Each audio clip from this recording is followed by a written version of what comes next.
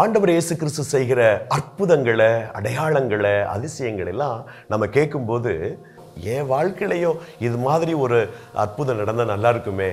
என்னுடைய லைஃப்லையும் இந்த மாதிரி ஒரு அதிசயம் நடந்தால் நல்லா இருக்குமேன்னு நாம் நினைக்கிறோம் விரும்புகிறோம் ஆசைப்படுறோம். உண்மை அதுதான். இயேசு கிறிஸ்து செய்த புதுமைகளை அற்புதங்களை அதிசயங்களை நம்ம சொல்லிகிட்டே இருக்கலாங்க. அவ்வளவு காரியம் இந்த உலகத்தில் நடக்குது. ஒரு ஏழை சகோதரியுடைய லைஃப்பில் நடந்ததை ரொம்ப நாளைக்கு முன்னாடி நான் கேட்டேன். அதை உங்களோட நான் பகிர்ந்துக்க ஆசைப்படுறேன் இன்னைக்கு.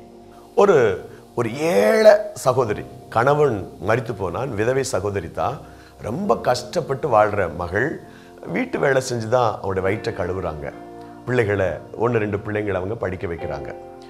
என்னைக்காவது மாசத்துக்கு ஒரு முறை தான் அவங்க நான்வெஜ்ஜே எடுக்க முடியும். மீனோ கறியோ மாசத்துக்கு ஒரு முறை தான் அந்த அம்மா வந்து சமைக்க முடியும். மற்ற டைம்ல எல்லாம் என்ன கிடைக்குதோ அதை சாப்பிட்டுட்டு அவங்க வாழக்கூடியவங்களா தான் இருந்தாங்க. ஒரு நாள் திருவிருந்து ஆராதனை.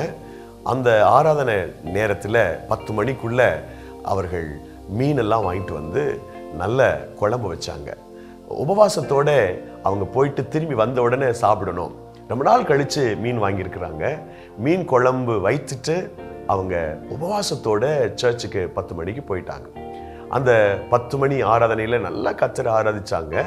ஆராதிச்சுட்டு ஒரு மணிக்கு பிறகு வீட்டுக்கு வந்து சேர்ந்தாங்க. இப்போ வீட்டை நெருங்கும் போது நம்ம நாளைக்கு பிறகு மீன் குழம்பு சாப்பிட போறோம் அப்படின்ற ஒரு எண்ணம். மீன் குழம்புனா எல்லாருக்கும் இஷ்டம் தானே? அப்போ அந்த அம்மாவுக்கு ஒரு சந்தோஷம். ரொம்ப நாளைக்கு பிறகு மீன் குழம்பு சாப்பிட போகிறோம் வீட்டுக்குள்ளே வந்து தன்னுடைய பேக்கை வச்சுட்டு அந்த கிச்சனுக்கு போனாங்க பாருங்களேன். ஒரே அதிர்ச்சி. அந்த மீன் குழம்பு அப்படியே கவுந்து கிடந்தது.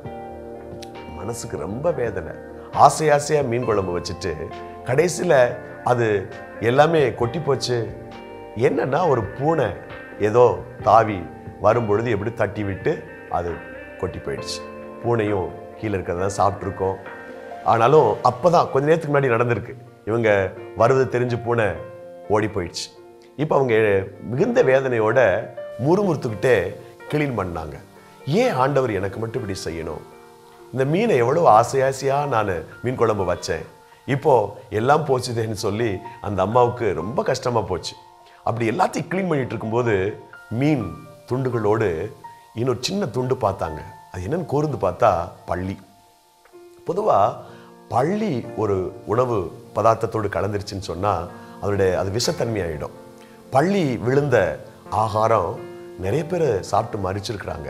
சில நேரங்களில் பார்த்தீங்கன்னா ஸ்கூல்ஸில் பாருங்களேன் சமையலில் வந்து பள்ளி விழுந்து நிறைய பிள்ளைங்க சீரியஸ் ஆகிடுவாங்க ரொம்ப அதிர்ச்சி ஆயிடுச்சு அவங்களுக்கு. அதே சமயத்தில் ஆண்டவருக்கு நன்றி சொன்னாங்க.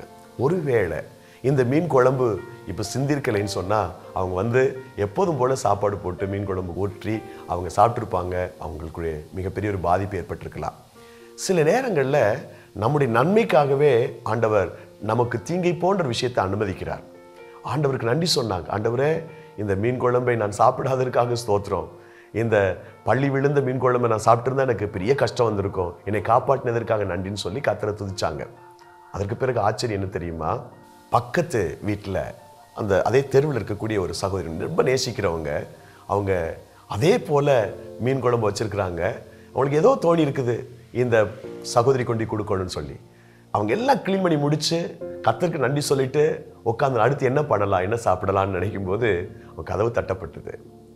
உள்ளே போய் பா வெளியே போய் பார்த்தா அவங்க சொன்னாங்க நான் மீன் குழம்பு இன்னைக்கு வச்சேன் நிறைய வச்சேன் உன் நினைப்பு வந்துருச்சு உனக்கும் கொஞ்சம் குழம்பு கொடுக்கணும்னு சொல்லி கொண்டு வந்தேன்னு சொல்லி கொடுத்தாங்க. அவங்க குழம்பு வச்சதை விட அந்த குழம்பு ரொம்ப டேஸ்ட்டாக இருந்துச்சு. நல்ல மீன். கத்தருக்கு நன்றி சொல்லிட்டு அவங்க சந்தோஷமாக சாப்பிட்டு இளைப்பாருனாங்க இந்த சாட்சி என் மனசில் ஒரு பெரிய சந்தோஷத்தை கொடுத்துச்சு. நிறைய டைமில் நம்ம லைஃப்ல பார்த்தீங்கன்னா ஆண்டவர் செய்யறது நமக்கு தீமை செய்யறது மாதிரியே தெரியும். நம்ம சோர்ந்து போயிடக்கூடாது. அவர் ஏன் இப்படி செஞ்சார் ஆண்டவர் அப்படின்னா உங்க நன்மைக்காகவே தான் அதை செஞ்சிருக்கிறாரு. ஒருவேளை அந்த மீன் குழம்பு கொட்டலைன்னு சொன்னா இந்த அம்மாவுடைய நிலைமை யோசித்து பாருங்களேன். செத்து போகலைன்னா கூட உடல் சுகவீனமாய் அவள் போயிருப்பாங்க. மருத்துவமனையில் அட்மிட் செய்யப்பட்டிருப்பாங்க. ஆண்டவர் அந்த மகளை காப்பாற்றினது மாத்திரம் இல்ல இந்த மகள் ஏமாந்து போயிடாம பக்கத்து வீட்டு சகலுடைய உள்ளத்துல கத்தர் பேசி அதே மீன் குழம்பு கொண்டு வந்து கொடுக்கவும் செய்தார். அந்த தேவன் நல்லவரா இருக்கிறார். இந்த நிகழ்ச்சியை பார்த்துட்டு இருக்கிற கேட்டுட்டு இருக்கிற உங்க லைஃப்லையும் ஏசப்பா உங்களுடைய தீமையை நன்மையாக மாற்றி உங்களை நிச்சயமாய் ஆசீர்வதிப்பார். ஒரு அருமையான வசனம் இருக்குது. அன்றையனுடைய தீர்மானத்தின்படி அழைக்கப்பட்டுள்ள தேவனிடத்தில் அன்புகிறவர்களுக்கு சகலமும் நன்மைக்கதுவாக நடக்கிறது. ரோமர் எட்டு இருபத்தெட்டு. அந்த வசனத்தின்படி கர்த்தர் ஆசீர்வதிப்பார். மற்றொரு நல்ல சாட்சியோடு உங்களை நான் சந்திப்பேன். God bless you.